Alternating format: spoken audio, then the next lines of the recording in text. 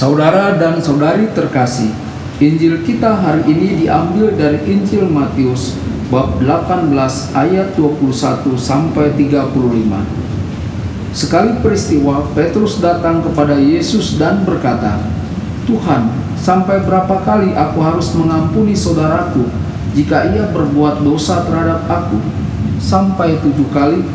Yesus berkata kepadanya, "Bukan, Aku berkata kepadamu bukan sampai tujuh kali, melainkan sampai tujuh puluh kali tujuh kali.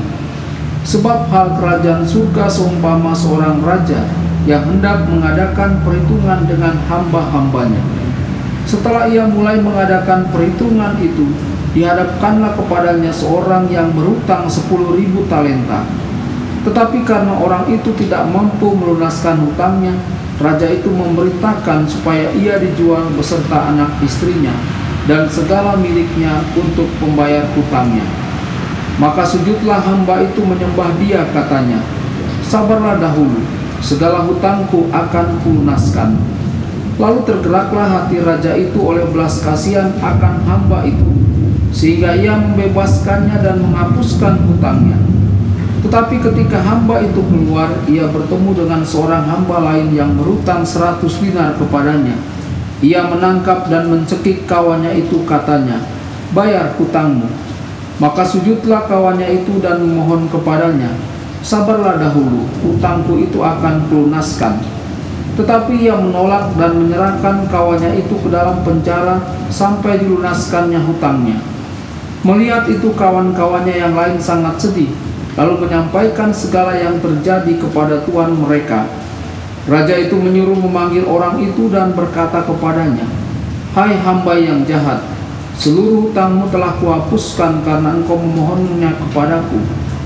Bukankah engkau pun harus mengasihani kawanmu seperti aku telah mengasihani engkau? Maka marahlah tuannya itu dan menyerahkannya kepada Algojo-Algojo sampai ia melunaskan seluruh hutangnya.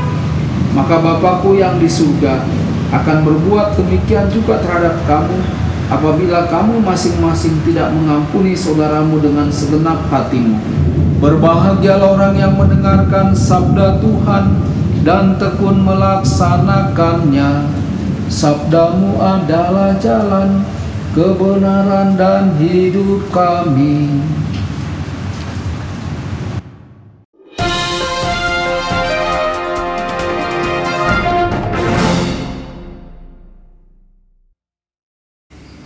Saudara dan saudari terkasih di mana pun Anda berada, jumpa lagi dengan saya Romo Tedens dalam saluran Warta Kabar Sukacita.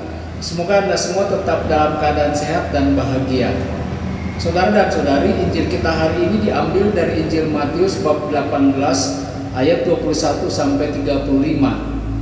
Dalam renungan kali ini, kita mohon kepada Tuhan agar kita tahu berterima kasih atas belas kasihnya kepada kita. Hutang yang tidak dapat dibayar. Saudara dan saudari terkasih, Petrus bertanya kepada Yesus, berapa kali dia harus mengampuni saudaranya? Yesus memberikan jawaban secara singkat, menceritakan sebuah perumpamaan untuk memastikan jawabannya bisa dimengerti. Dalam perumpamaan, Tuhan adalah raja dan kita semua adalah hamba yang berhutang besar kepada raja. Kita semua berhutang kepada Tuhan.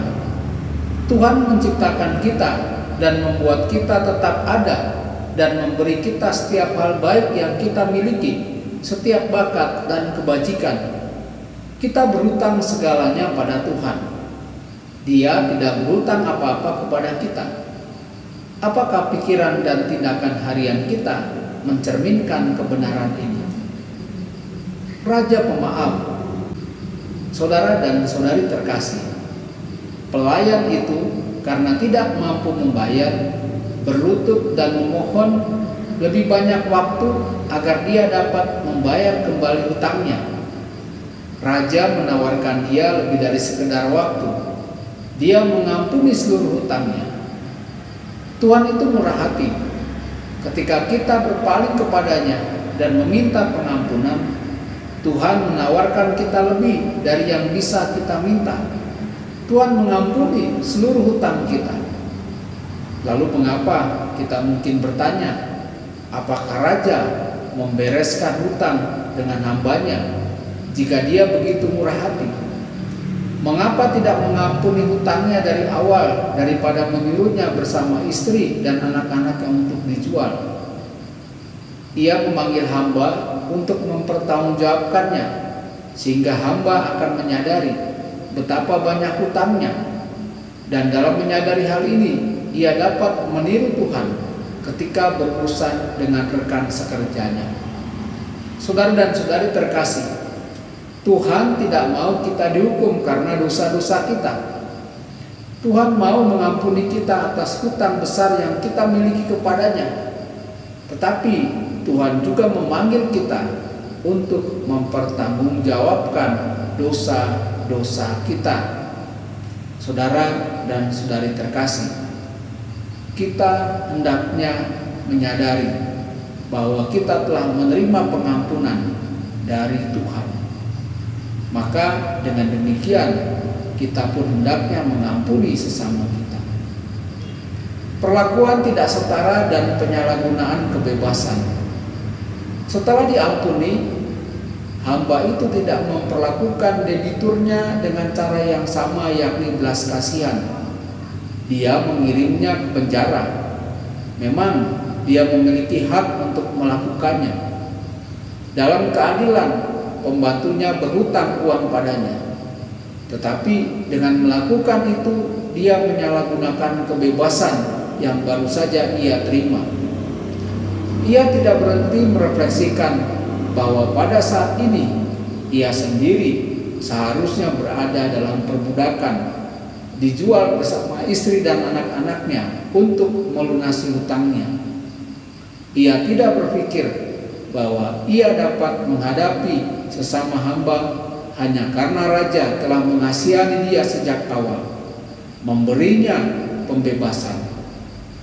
Saudara dan saudari, pelanggaran yang kita derita dari sesama kita adalah pelanggaran yang nyata. Tetapi sebelum kita menuntut keadilan kita harus berhenti dan merenungkan bahwa hanya karena Tuhan telah mengampuni dosa-dosa kita, maka kita mempunyai kebebasan dan memohon pengampunan dari sesama kita. Refleksi ini harus menuntun kita untuk memiliki belas kasihan yang sama dengan sesama kita seperti yang Tuhan anugerahkan kepada kita. Saudara dan saudari, semoga selama masa prapaskah ini dan hari-hari kita selanjutnya kita mau mewujudkan belas kasihan kepada mereka yang berhutang atau bersalah kepada kita atau yang menyinggung perasaan kita. Tuhan Yesus memberkati dan menyertai Anda semua. Sabda Allah adalah kebenaran Sabda Allah adalah kehidupan Mari kita mencintainya. Mari kita menghayatinya. Ya Tuhan